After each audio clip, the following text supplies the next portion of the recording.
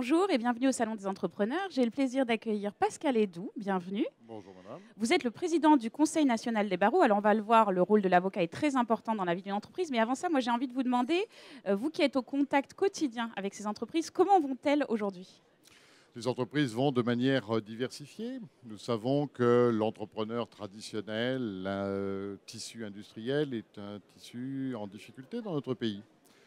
Pour autant, ce que nous savons, c'est que l'ensemble de l'innovation est euh, prospère et que notre économie doit beaucoup travailler sur le développement de cette innovation. L'ensemble de la recherche et l'ensemble de la création également, de façon à revivifier ce tissu qui n'est pas encore sorti de la crise, on le sait bien, ce n'est pas si simple, et qui doit aussi essayer de favoriser la reprise euh, de l'emploi, puisque nous savons qu'une des, difficultés majeures de notre économie, c'est précisément la crise de l'emploi. Et ce sont les entreprises qui peuvent trouver la solution. Ce ne sont pas d'autres solutions que celle-ci. Alors, dans ce contexte, quel est le rôle de l'avocat auprès du chef d'entreprise? Comment vous les aidez au quotidien? L'avocat a plusieurs euh, rôles auprès de l'entreprise. Il a évidemment le rôle de conseil, il a le rôle de stratège, c'est celui qui accompagne l'entreprise dans ses développements juridiques innovants, dans ses euh, structures juridiques euh, nationales et internationales.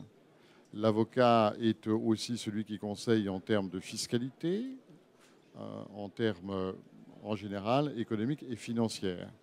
Il est par conséquent l'accompagnant euh, de l'entrepreneur en termes de stratégie juridique, financière, fiscale. Alors il n'est pas le seul, il y a d'autres professions qui l'accompagnent. Comment vous travaillez tous ensemble? Comment ça se coordonne?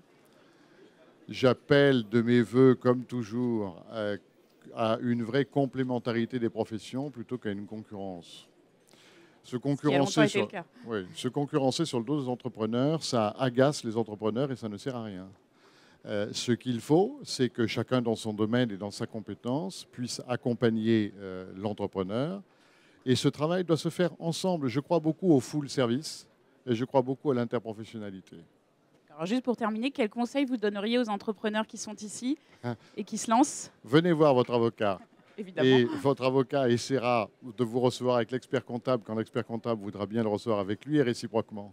Et ça, c'est un, un, vrai message d'innovation pour eux et pour nous et de stratégie pour nos professions au service de l'entreprise.